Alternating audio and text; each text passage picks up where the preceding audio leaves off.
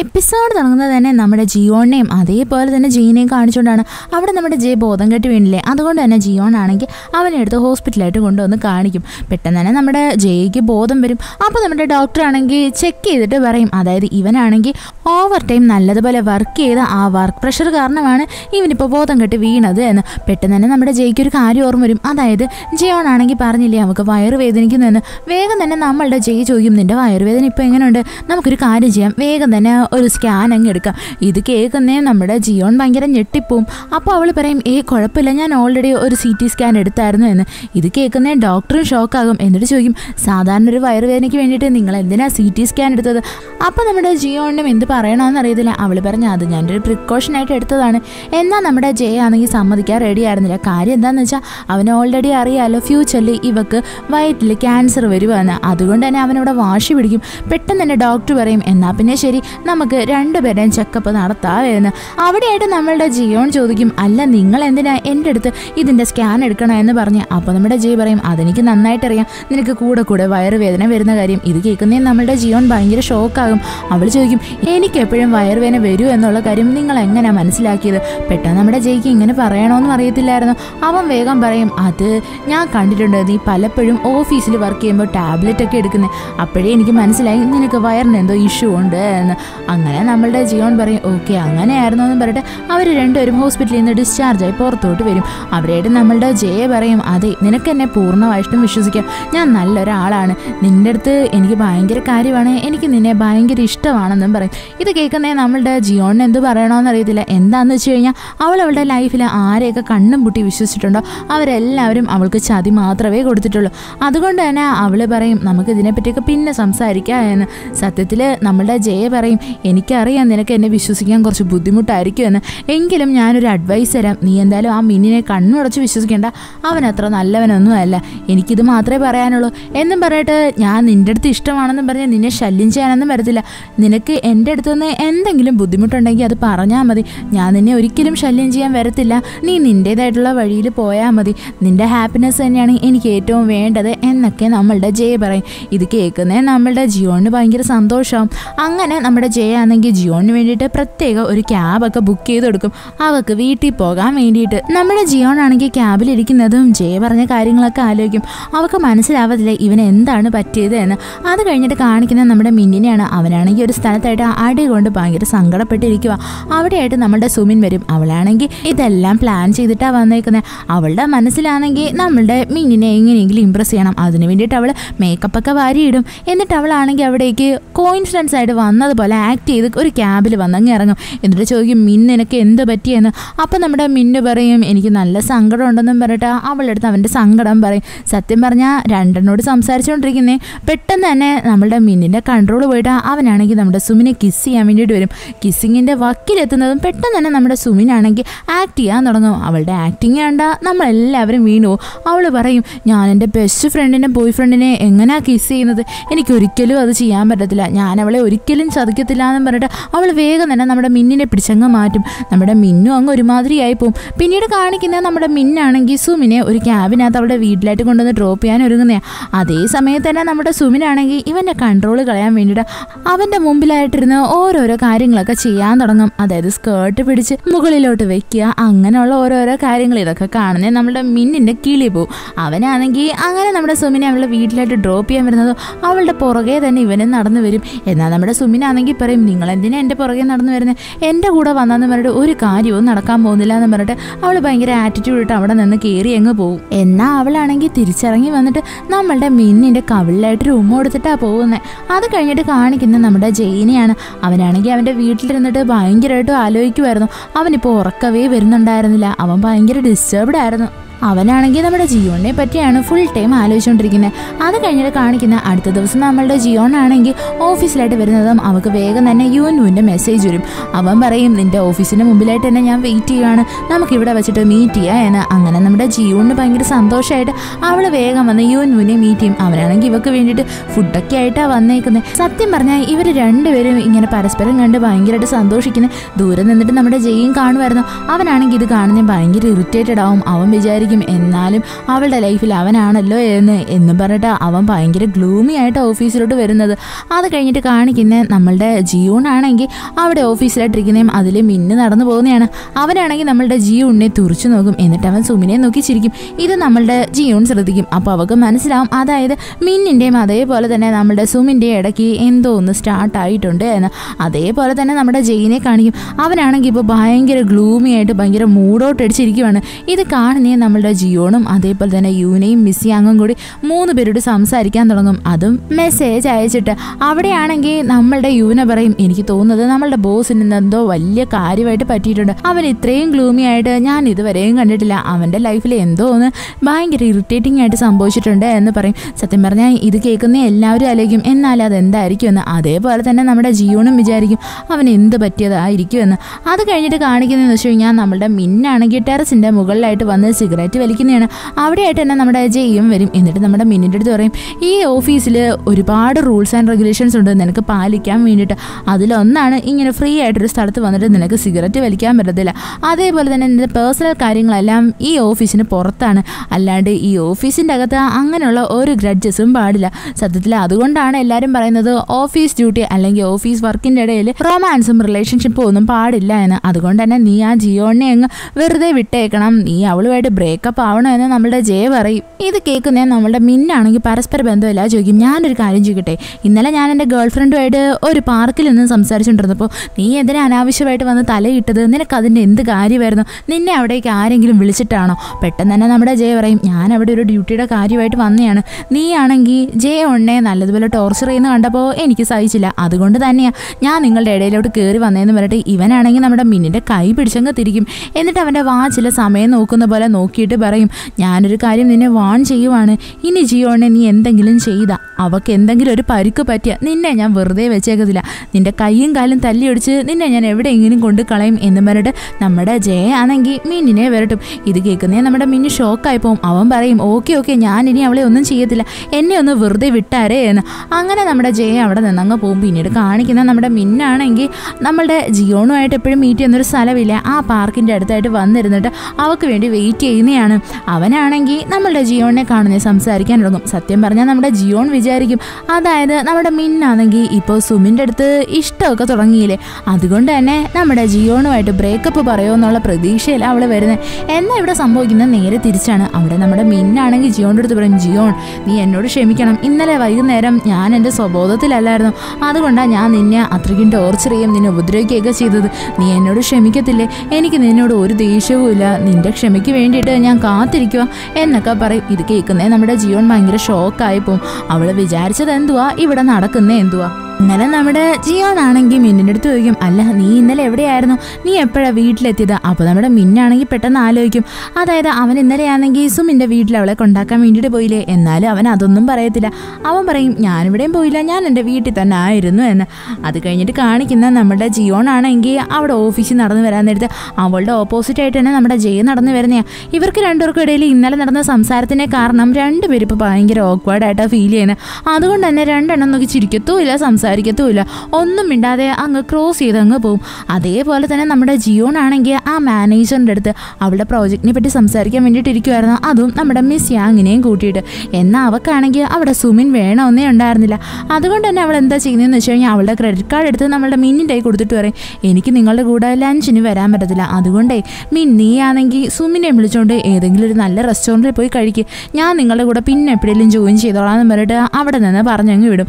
സത്യം പറഞ്ഞാൽ നമ്മുടെ ജിയോൺ ഇങ്ങനെ ചെയ്യുന്നത് തന്നെ മിന്നിനും അതേപോലെ തന്നെ സുമിനും കൂടി സ്പെൻഡ് ചെയ്യാൻ കുറച്ച് സമയം കിട്ടട്ടെ എന്ന് ആലോചിച്ചിട്ടാണ് അത് കഴിഞ്ഞിട്ട് ഇവളാണെങ്കിൽ ആ മാനേജറിനെ കണ്ട് സംസാരിക്കാൻ വരും. അവനാണെങ്കിൽ ഭയങ്കര റൂഡായിട്ട് സംസാരിക്കുന്നത് അവന് സത്യം പറഞ്ഞാൽ നമ്മുടെ ജിയോന്റെ പ്രോജക്റ്റ് അങ്ങോട്ട് അക്സെപ്റ്റ് ചെയ്യണമെന്നില്ല എങ്കിലും ആ മാനേജർ പറയും ഞാനാണെങ്കിൽ ഇതിനകത്ത് കുറച്ച് തിരുത്തൊക്കെ വരുത്തിയിട്ടുണ്ട്. നമുക്കാണെങ്കിൽ ഫുഡ് ഹെൽത്തി ഫുഡ് കൊടുക്കണമെന്നൊക്കെ ആഗ്രഹമുണ്ട്. എങ്കിലും ഫുഡിനകത്തൊന്നും ഒരു കാര്യവും നടക്കത്തില്ല. ഞാൻ വിചാരിക്കുന്നതെന്ന് വെച്ച് കഴിഞ്ഞാൽ ഒരു ഫേമസ് ആയിട്ടുള്ള ഷെഫിനെ വെച്ചിട്ട് നമുക്കിത് പ്രൊമോട്ട് ചെയ്യാം എന്ന്. ഇത് കേൾക്കുന്നേ നമ്മുടെ ജിയോൺ പറയും അങ്ങനെയൊന്നും ചെയ്യേണ്ട എനിക്കതൊന്നും ഇഷ്ടമല്ല എന്ന്. അപ്പം നമ്മളുടെ ഈ മാനേജർ പറയും അല്ല ഈ പ്രോജക്റ്റിന്റെ യഥാർത്ഥ ഓണർ നീ ആയിരിക്കാം എന്നാൽ അതിപ്പോൾ നീ എനിക്ക് തന്നില്ലേ? അതുകൊണ്ട് ഞാനാണ് ഇവിടെ ഇനി എല്ലാ കാര്യങ്ങളും തീരുമാനിക്കുന്നത്. ഞാൻ എന്റെ പേര് ഈ പ്രോജക്റ്റിൽ നിന്ന് അങ്ങ് വെട്ടിക്കളയാണ്. നീ ഇനി മുതൽ ഈ പ്രോജക്റ്റിൽ വർക്ക് ചെയ്യേണ്ട യാതൊരു ആവശ്യവും ഇല്ല എന്ന് പറയും. സത്യം പറഞ്ഞാൽ ഈ മാനേജർ ആണെങ്കിൽ നമ്മുടെ ജിയോൺ ജെയിൻ ജെയ്യുടെ കൂടെ ഒരു മാനേജറിനെ കാണാൻ വേണ്ടിയിട്ട് പോയില്ലായിരുന്നു. അതായത് എയ്റോപ്ലെയിനിൽ പ്രശ്നം ഉണ്ടാക്കുന്ന ഒരു മാനേജർ അങ്ങേന്റെ പേര് വാങ്ങുന്നതാണ് കേട്ടോ. അപ്പോൾ അങ്ങേരെ ഇതിനകത്ത് ഇൻക്ലൂഡ് ആക്കണമെന്നൊക്കെയാണ് നോക്കുന്നത് എന്നൊക്കെ പറഞ്ഞിട്ട് ഈ മാനേജർ നമ്മളുടെ ജിയോന്റെ ഭയങ്കര റൂഡായിട്ട് സംസാരിക്കും. അതേപോലെ തന്നെ പിന്നീട് കാണിക്കുന്നത് നമ്മുടെ മിന്നിനെയും സുമിനെയാണ്. അവിടെ രണ്ടെണ്ണോട് ചേർന്നിട്ട് ഭയങ്കര എക്സ്പെൻസീവ് ആയിട്ടുള്ള ഒരു ഹോട്ടലായിട്ട് വരും. എന്നിട്ട് രണ്ടെണ്ണം കൂടി ഭയങ്കര കാര്യമായിട്ട് ഫുഡൊക്കെ കഴിക്കും. സത്യം പറഞ്ഞാൽ ഇപ്പോൾ പേ ചെയ്യുന്നത് നമ്മളുടെ ജിയോണാണല്ലോ. അതുകൊണ്ട് തന്നെ രണ്ടെണ്ണം നല്ല കാര്യമായിട്ട് ഫുഡ് അടിക്കും. ഇതിന്റെ ബില്ല് കാണുന്നേ നമ്മുടെ ജിയോൺ ഭയങ്കര ഷോക്കായി പോകും അത് കഴിഞ്ഞിട്ട് കാണിക്കുന്നത് നമ്മുടെ ജെയിനെയാണ് അവനാണെങ്കിൽ ആ പ്രോജക്റ്റിന്റെ എല്ലാ ഡീറ്റെയിൽസും കിട്ടിയായിരുന്നു. എന്നാൽ ആ പ്രോജക്റ്റിനകത്ത് നമ്മുടെ ജിയോണിന്റെ പേര് മാത്രമില്ല അവനത് കാണുന്നതും ഭയങ്കര ഷോക്കായി പോകും എന്താണെന്ന് വെച്ച് കഴിഞ്ഞാൽ അവൻ ഓൾറെഡി അറിയായിരുന്നു. നമ്മുടെ ജിയോൺ ആണെങ്കിൽ മിൽക്കിറ്റ് എന്ന് പറയുന്ന ഒരു പ്രോജക്റ്റിനകത്ത് വർക്ക് ചെയ്തുകൊണ്ടിരിക്കുക എന്ന്. അങ്ങനെ അവൻ വേഗം തന്നെ നമ്മളുടെ ജിയോണിന് മെസ്സേജ് അയക്കും. എന്നിട്ട് പറയും നമുക്കിന്ന് വൈകുന്നേരം ഒരു ഡിന്നർ കഴിക്കാൻ പോയാലോ? എനിക്ക് നിന്നെ കണ്ടൊരു കാര്യം സംസാരിക്കണം എന്ന്. ഇവനാണെങ്കിൽ പ്ലാൻ ചെയ്യുന്നത് തന്നെ നമ്മളുടെ ജിയോണിനെയും കൂട്ടി വന്നിട്ട് മാർഷൽ ആർട്സ് ഒക്കെ പഠിപ്പിക്കണമെന്ന് അത് കഴിഞ്ഞിട്ട് കാണിക്കുന്നത് ഈവനിങ് ടൈമാണ് അവിടെ നമ്മളുടെ ജയ ആണെങ്കിൽ ജിയോണിനെയും കൊണ്ട് അവൻ മാർഷൽ ആർട്സ് ഒക്കെ പ്രാക്ടീസ് ചെയ്യുന്ന സ്ഥലമില്ലേ? അവിടെയായിട്ട് വരും. അവിടെയായിട്ട് നമ്മളുടെ ജയുടെ ഫ്രണ്ട്സ് ആയിട്ടുള്ള ഡോങ്ങും അതേപോലെ തന്നെ കൂടെ ഒരുത്തനുണ്ടല്ലോ രണ്ട് പേരും ഉണ്ട് ഡോങ്ങിനാണെങ്കിൽ നമ്മളുടെ ജിയോണിനെ കാണുന്നേ മനസ്സിലാവും. അതായത് ഇതേ പെങ്കൊച്ചിനെ തന്നെയാണ് നമ്മളുടെ ജയ കുഞ്ഞിലേ തൊട്ടേ പ്രേമിച്ചുകൊണ്ടിരുന്നത് എന്ന്. അവനാണെങ്കിൽ അങ്ങനെ ഇവളുടെ അടുത്ത് ഭയങ്കര കാര്യമായിട്ടൊക്കെ സംസാരിക്കും.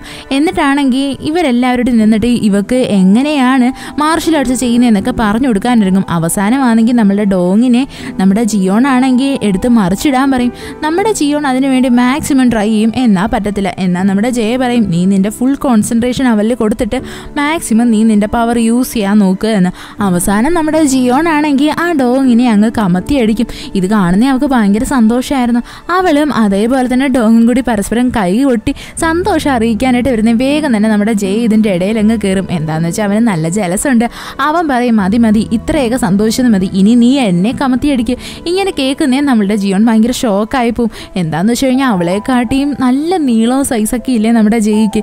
ഇവളാണെങ്കിൽ ജയിനെ കമത്തി അടിക്കാൻ നോക്കും. എന്നാ നടക്കത്തില്ല. അപ്പം നമ്മുടെ ജയ് പറയും നിന്റെ കോൺസെൻട്രേഷൻ ഫുൾ അതിനകത്തായിരിക്കണം. നീ അതിൽ മാത്രമേ ശ്രദ്ധിക്കാവൂ. നീ വേറെ കാര്യത്തിലോട്ടൊന്നും ഡീവിയേറ്റ് ആയി പോവരുത് എന്ന്. അങ്ങനെ നമ്മളുടെ ജിയോൺ ആണെങ്കിൽ അവളുടെ മാക്സിമം പവേഴ്സ് കൊടുത്തിട്ട് നല്ലതുപോലെ വായൊക്കെ വെച്ച് ഇവനെ കറക്കി അടിക്കാൻ നോക്കും. എന്നാൽ ഇവനെ കറക്കി അടിക്കുന്നതിന് പകരമായിട്ട് ഇവൾ വീഴാനാ പോകുന്നത് പെട്ടെന്ന് തന്നെ നമ്മളുടെ ജയ ആണെങ്കിൽ ഇവളുടെ കയ്യിൽ കയറി പിടിച്ചിട്ട് ഇവളെ അടുത്തോട്ട് പിടിച്ച് ക്ലോസ് ആയിട്ട് നിർത്താനൊരുങ്ങും എന്നാൽ ഇവൾ എന്ത് ചെയ്യുമെന്നറിയാവോ? ആ ഒരു ടൈമിൽ നമ്മളുടെ ജയുടെ കോൺസെൻട്രേഷൻ പോയാലോ ആ ഒരു സമയത്തിനെ മുതലെടുത്തിട്ട് ഇവളാണെങ്കിൽ അവളുടെ കാൽ വെച്ച് ഇവനൊരു ചവിട്ടും കൊടുത്ത് രണ്ടെണ്ണോടി നല്ലതുപോലെ പറന്ന് എന്ന് തറയെ വന്നങ്ങ് വീഴും. എന്നിട്ട് നമ്മളുടെ ജിയോൺ പറയും കണ്ടില്ലേ? ഞാനാണെങ്കിൽ എന്റെ പവർ യൂസ് ചെയ്ത് നിന്നെ അങ്ങ് തള്ളിയിട്ടു. എനിക്ക് ഭയങ്കര സന്തോഷമായെന്നും പറഞ്ഞ് അവൾ ഭയങ്കരമായിട്ടും ചിരിക്കും. സത്യം പറഞ്ഞാൽ നമ്മളുടെ ഡോങ് ഒക്കെ ഉണ്ടല്ലോ. ഇത് കാണുന്നത് അവരും ഞെട്ടിപ്പോവും. എന്നാലും അവർ രണ്ടെണ്ണം ഇപ്പോൾ പറന്നാണോ പോയി വീണത് എന്ന് ആലോചിച്ചിട്ട്.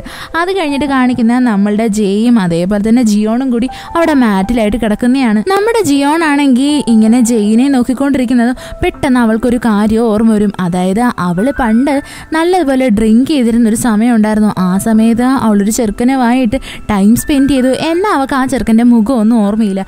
പെട്ടെന്ന് അവൾക്ക് നമ്മളുടെ ജെയുടെ ഫേസ് കാണുന്നതും ആ ഒരു സംഭവമാണ് ഓർമ്മ വരുന്നത് അവൾ വിചാരിക്കും ഇത് കണ്ടിട്ട് എനിക്ക് ഈ സംഭവം നടന്നതുപോലെ തോന്നുന്നുണ്ടല്ലോ എന്ന്. എങ്കിലും അവൾക്ക് കൺഫേം ഒന്നുമല്ല അത് കഴിഞ്ഞിട്ട് കാണിക്കുന്നേ നമ്മുടെ ജയ ആണെങ്കിൽ ജിയൂണിനെ അവളുടെ വീട്ടിലായിട്ട് കൊണ്ടുവന്ന് ഡ്രോപ്പ് ചെയ്യുന്നതാണ്. അവൻ പറയും എന്തായിരുന്നാലും നീ നിന്റെ പവേഴ്സ് ഒക്കെ യൂസ് ചെയ്തിട്ട് ഇതേപോലെ ഫൈറ്റ് ചെയ്യണം. നിന്റെ ഓപ്പോസിറ്റ് നിൽക്കുന്ന ആളുടെ സ്ട്രെങ്ത് നോക്കിയിട്ട് അവരുടെ സ്ട്രെങ്ത്തിനെ നീ നിന്റെ വീക്ക്നെസ് ആക്കാണ്ട് നിന്റെ സ്ട്രെങ്ത് ആക്കി മാറ്റി നീ അവരോട് ഫൈറ്റ് ചെയ്യണോ എന്നൊക്കെ നമ്മുടെ അജയ് ഭയങ്കര പോസിറ്റീവായിട്ട് സംസാരിക്കും. ഇത് കേൾക്കുന്നേ നമ്മുടെ ജിയോണിന് നല്ല സന്തോഷം ഉണ്ടായിരുന്നു. എന്താന്ന് വെച്ചാൽ അവളെ സപ്പോർട്ട് ചെയ്യാൻ വേണ്ടിയിട്ട് ഇങ്ങനെ ഒരാൾ അവളുടെ ലൈഫിലുണ്ടല്ലോ. അത് കഴിഞ്ഞിട്ട് കാണിക്കുന്നതെന്ന് വെച്ച് കഴിഞ്ഞാൽ നമ്മളുടെ ജിയോൺ ആണെങ്കിൽ അവളുടെ മാനേജറിനെ വന്ന് കാണുന്നതാണ്. അവളാണെങ്കിൽ ആ പ്രോജക്റ്റിൽ കുറച്ചുകൂടി തിരുത്തൊക്കെ കൊണ്ടുവന്നിട്ടുണ്ടായിരുന്നു. എന്നിട്ട് അവൾ പറയും ഞാനിതിൽ കുറച്ച് തിരുത്തി വെച്ചിട്ടുണ്ട്. എന്റെ പേര് ഇതിനകത്ത് ആഡ് ആക്കണമെന്ന്. സത്യം പറഞ്ഞാൽ നമ്മളുടെ ജിയോൺ ആഗ്രഹിക്കുന്നത് അവളുടെ പേര് ആ പ്രോജക്റ്റിൽ വേണം. അതിന്റെ പേരിൽ അവളുടെ ഫ്യൂച്ചർ ചേഞ്ച് ആവണം എന്ന എന്നാൽ ഈ മാനേജർ ആണെങ്കിൽ ഓക്കെ ഞാൻ നോക്കട്ടെ എന്നും പറഞ്ഞാൽ അവളെ അവിടെ നിന്ന് പറഞ്ഞങ്ങ് വിടും. അത് കഴിഞ്ഞിട്ട് കാണിക്കുന്ന നമ്മുടെ ജിയോണും അതേപോലെ തന്നെ യൂണിയൻ ഇരുന്ന് സംസാരിക്കുന്നതാണ്. യൂനെ ആണെങ്കിൽ അവിടെ പറയും നോക്കിയാണ് എന്നാലും ആ മാനേജറിന് ഒരു നാണവും ഇല്ലല്ലോ. നിന്റെ പ്രോജക്റ്റ് അടിച്ചു മാറ്റിയിട്ട് അങ്ങേരുടെ പേരിലോട്ട് ആക്കാൻ വേണ്ടിയിട്ട് അങ്ങേരെ എന്ത് ചെയ്യണമെന്നറിയാവോ എന്ന് പറഞ്ഞ് ഇവൾ ഭയങ്കര റൂഡായിട്ട് സംസാരിക്കും. അതേ സമയത്ത് തന്നെ അവിടെയായിട്ടൊരു കേക്ക് ഉണ്ടായിരുന്നു. നമ്മുടെ യൂനെ ആണെങ്കിൽ അതെടുത്ത് ടേസ്റ്റ് ചെയ്ത് നോക്കും. ഇത് ടേസ്റ്റ് ചെയ്യുന്ന അവൾക്ക് ഭയങ്കര ഇഷ്ടപ്പെടും. അവളാണെങ്കിൽ ഈ കേക്ക് ഉണ്ടാക്കിയ ആളിനെ നല്ലതുപോലെ പൊക്കി പറയും. വേഗം തന്നെ നമ്മുടെ ജിയോൺ ആണെങ്കിൽ യൂൻ വൂനെ കോൾ ചെയ്യും. അപ്പോൾ നമ്മുടെ യൂനെ ആണെങ്കിൽ ഈ യൂൻ വൂന്റെ അടുത്ത് പറയും അതായത് നിങ്ങളുടെ കേക്ക് കിടിലമായിട്ടുണ്ട് ഇതിനകത്തുള്ള ഇൻഗ്രീഡിയൻസ് ഒക്കെ നല്ല സ്പെഷ്യൽ ആയിട്ടുള്ള സംഭവങ്ങളല്ലേ? എനിക്ക് ഭയങ്കര ഇഷ്ടമായി. എന്നിട്ട് അവൾ ചോദിക്കും ഇത് നിങ്ങൾ ഉണ്ടാക്കിയത് നിങ്ങൾക്ക് ഭയങ്കര ക്ലോസ് ഹേർട്ട് നിൽക്കുന്ന സ്പെഷ്യൽ ആയിട്ടുള്ള ഒരാൾക്ക് വേണ്ടിയിട്ടല്ലേ? എന്ന് ചോദിക്കും. ഇത് കേൾക്കുന്നേ നമ്മളുടെ യൂനുവിന് നല്ല സന്തോഷമാവും അത് കഴിഞ്ഞിട്ട് കാണിക്കുന്നതെന്ന് വെച്ച് കഴിഞ്ഞാൽ നമ്മളുടെ ജിയോൺ ആണെങ്കിൽ അവളുടെ ആ മാനേജറിന്റെ അടുത്ത് വന്നിട്ട് സജസ്റ്റ് ചെയ്യുന്നതാണ് നിങ്ങൾ ഓൾറെഡി ഒരു ബ്രാൻഡ് അംബാസിഡറിനെ വെക്കണമെന്ന് ആഗ്രഹിക്കില്ലേ? ഞാൻ സജസ്റ്റ് ചെയ്യുന്നത് മിസ്റ്റർ വാങ്ങിനെ തന്നെ വെക്കണമെന്നാ സത്യം പറഞ്ഞാൽ നമ്മളുടെ ജിയോൺ ഇവിടെ വലിയൊരു മാസ്റ്റർ പ്ലാൻ തന്നെയാണ് കേട്ടോ തയ്യാറാക്കുന്നത്. യഥാർത്ഥത്തിൽ അവൾക്കറിയാം ഈ പ്രോജക്റ്റ് എന്തായിരുന്നാലും സക്സസ്ഫുൾ ആവുക എന്ന്. അപ്പോൾ അവൾ വിചാരിക്കും ഇതിനകത്ത് ബ്രാൻഡ് അംബാസിഡറായിട്ട് ആ മിസ്റ്റർ വാങ്ങിനെ കൊണ്ടുവന്ന അങ്ങേരും ഇതിന്റെ കൂട്ടത്തിൽ തന്നെ വേഗം ഫേമസ് ആവും. അതേപോലെ തന്നെ ഈ മിസ്റ്റർ വാങ് ആണെങ്കിൽ ഫ്ലൈറ്റിലെ ഒരു ക്രൂ മെമ്പറിനെ ബുള്ളി ചെയ്തു എന്ന് പറഞ്ഞിട്ട് ഇയാളുടെ പേരെല്ലാം നല്ലതുപോലെ നശിച്ചു പോകുമല്ലോ. ഇതെല്ലാം നമ്മുടെ ജിയോൺ അറിയാം. അതുകൊണ്ട് തന്നെ അവളാണെങ്കിൽ ഈ ഒരു പ്രോജക്റ്റ് മിസ്റ്റർ വാങ്ങുമായിട്ട് ചെയ്യാൻ വേണ്ടിയിട്ട് തീരുമാനിക്കും. അത് കഴിഞ്ഞിട്ട് കാണിക്കുന്നതെന്ന് വെച്ച് കഴിഞ്ഞാൽ നമ്മളുടെ ഈ മാനേജർ ആണെങ്കിൽ ഈ സംഭവം അപ്രൂവ് ചെയ്ത് കൊടുക്കുന്നതാണ് അങ്ങനെ നമ്മളുടെ എല്ലാവരും ഇത് അക്സെപ്റ്റ് ചെയ്തിട്ട് മിസ്റ്റർ വാങ് ആണെങ്കിൽ ഈ പ്രോജക്റ്റിന് വേണ്ടിയിട്ടുള്ള നല്ല പരസ്യങ്ങളും കാര്യങ്ങളൊക്കെ ചെയ്യും. അങ്ങനെ ഈ പ്രോജക്റ്റ് വൺ സക്സസ് ആവും. നമ്മുടെ ഈ മിസ്റ്റർ വാങ് ഉണ്ടല്ലോ അയാളും ഭയങ്കര പോപ്പുലർ ആവും. അങ്ങനെ ഒരു സമയം എത്തുന്നത് വേഗം തന്നെ നമ്മുടെ ജിയോൺ എന്ത് ചെയ്യുമെന്നറിയാവോ ഈ മിസ്റ്റർ വാങ് എന്നാണോ ഫ്ലൈറ്റിൽ ട്രാവൽ ചെയ്യുന്നത്? അതേ സമയം നോക്കി ഇങ്ങനെ കോൾ ചെയ്യും. എന്നിട്ട് പറയും അതായത് ആ പ്രോജക്റ്റിന്റെ എല്ലാ ക്രെഡിറ്റും എനിക്ക് വേണം. ഞാനാണ് ആ പ്രോജക്റ്റിന് വേണ്ടിയിട്ട് ഒരുപാട് വർക്ക് ചെയ്തത് എന്ന്. ഇത് കേൾക്കുന്നേം ആ മിസ്റ്റർ വാങ്ങിനങ്ങ് ഭയങ്കര ദേഷ്യം വരും. അയാളാണെങ്കിൽ ഒരു രണ്ട് വർഷം കഴിഞ്ഞ് നടക്കേണ്ട സംഭവമാണ്. അതായത് ഈ ഫ്ലൈറ്റിനകത്ത് ക്രൂ മെമ്പറിനെ ബുള്ളി ചെയ്തു എന്നുള്ള പേരിൽ അവന്റെ പേര് ചീത്തയാവുന്നത്. എന്നാൽ അയാളാണെങ്കിൽ നല്ല ഇറിറ്റേറ്റഡ് ആയിരുന്നു ആ ഫ്ലൈറ്റിൽ കയറുന്നേ. വേഗം തന്നെ അയാൾ അയാളുടെ ഉള്ളിലുണ്ടായിരുന്ന ആ ദേഷ്യം മൊത്തം അവിടെ വന്ന് ഒരു ക്രൂവിന്റെ അടുത്താണ് തീർക്കുന്നത് എന്നിട്ട് ആ പെണ്ണിനെ നല്ലതുപോലെ ഓരോന്നൊക്കെ പറയാൻ തുടങ്ങും. അതിന്റെ തൊട്ട് പുറവേ തന്നെ അയാൾ ആ ഫ്ലൈറ്റിൽ സീറ്റിലായിട്ടിരിക്കുന്നതും വേറെ ആളിനെ വിളിച്ചിട്ട് സംസാരിക്കും. ആ ജിയോൺ കണ്ടില്ലേ? അവളാണെങ്കിൽ ഇപ്പോൾ അവൾക്കതിന്റെ ക്രെഡിറ്റ് വേണമെന്ന് പറഞ്ഞുകൊണ്ട് നിന്നേക്കുവാണ്. ഞാൻ ഒരിക്കലും അവളുടെ പേര് ഈ പ്രോജക്റ്റിൽ ആഡ് ആക്കത്തില്ല എന്ന് പറഞ്ഞിട്ട് ഇയാൾ എല്ലാ സത്യവും അവിടെ ഇരുന്ന് വിളിച്ചു പോകും. അതേസമയം തന്നെ അവിടെ ഒരാളാണെങ്കിൽ ഇയാളുടെ വീഡിയോ എടുക്കുന്നുണ്ടായിരുന്നു. അങ്ങനെ പെട്ടെന്ന് തന്നെ ഈ സംഭവം അങ്ങ് വൈറലാവും അതായത് ഇങ്ങേരാണെങ്കിൽ നമ്മളുടെ ജിയോണിന്റെ വർക്കിനെ കട്ടെടുത്തിട്ട് അവളുടെ പേര് പോലും വെക്കാണ്ട് അത് ഫേമസ് ആക്കിയിട്ട് ഇവളെ എങ്ങനെയെങ്കിലും നശിപ്പിക്കണം എന്നുള്ളൊരു പ്ലാൻ തയ്യാറാക്കുക. അങ്ങനെയുള്ള പേരിൽ സത്യം പറഞ്ഞാൽ ഇങ്ങനൊരു സംഭവം നടന്നതിന്റെ പേരിൽ ഇതിന്റെ പിന്നിൽ പ്രവർത്തിച്ച എല്ലാവരെയും അത് നന്നായിട്ട് ബാധിക്കും. സത്യം പറഞ്ഞ ഇത് കാണുന്നേ നമ്മളുടെ ജിയോണ് നല്ല സന്തോഷമായിരുന്നു അവളാണെങ്കിൽ ഭയങ്കര ഹാപ്പി ആയിട്ട് ഒരു ടെറസിന്റെ മുകളിലായിട്ട് വന്ന് നിന്നിട്ട് നമ്മുടെ ബി ടി എസിന്റെ പാട്ടൊക്കെ കേൾക്കാനായിട്ട് തുടങ്ങും. അതേസമയം തന്നെ നമ്മുടെ ജയു അവിടേക്ക് നടന്നു വരും. എന്നിട്ട് അവനാണെങ്കിൽ നമ്മളുടെ ജിയോന്റെ അടുത്ത് പറയും എന്തായിരുന്നാലും നീ ചെയ്തത് നല്ല കാര്യം തന്നെയാണ്. ഇതിന്റെ പേരിൽ നിന്റെ പേരും ക്ലിയറായി നിന്റെ റിവഞ്ചും നടന്നു. അതുകൊണ്ട് തന്നെ നീ നല്ല ഹാപ്പി ആയിട്ടിരിക്കണം. ഈ പ്രോജക്റ്റിന്റെ ബാക്കി കാര്യങ്ങളൊക്കെ നോക്കേണ്ടത് ഇനി മുതൽ നീയാണ് എന്നൊക്കെ പറഞ്ഞിട്ട് നമ്മളുടെ ജയ അവളെ കൺഗ്രാറ്റുലേറ്റ് ചെയ്ത് അവിടെ നിന്ന് പോകാനായിട്ടിരുന്നു. അതേസമയം തന്നെ പെട്ടെന്ന് നമ്മുടെ ജിയോന്റെ കയ്യിൽ നിന്ന് അവളുടെ മൊബൈൽ അങ്ങ് താഴെ വീഴും. വേഗം തന്നെ നമ്മുടെ ജയാണെങ്കിൽ ഇത് കാണുന്നേയും ആ മൊബൈൽ എടുത്തു കൊടുക്കും. അപ്പോൾ അവ ശ്രദ്ധിക്കും. അതായത് നമ്മുടെ ജിയോൺ ആണെങ്കിൽ ബി ടി എസിന്റെ പാട്ടാണ് കേട്ടോണ്ടിരിക്കുന്നത് ഉടനെ തന്നെ നമ്മുടെ ജയ് ചോദിക്കും നീ ബി ടി എസിന്റെ ഫാനാണോ? നീ ബി ടി എസിന്റെ പാട്ടെല്ലാം കേൾക്കുമല്ലേ അപ്പോൾ നമ്മളുടെ ജിയോൺ ആണെങ്കിൽ ഒന്നും ഓർക്കാതെ പെട്ടെന്ന് തന്നെ കയറി പറയും പിന്നില്ലേ ഞാൻ കട്ട ഫാനാണ്.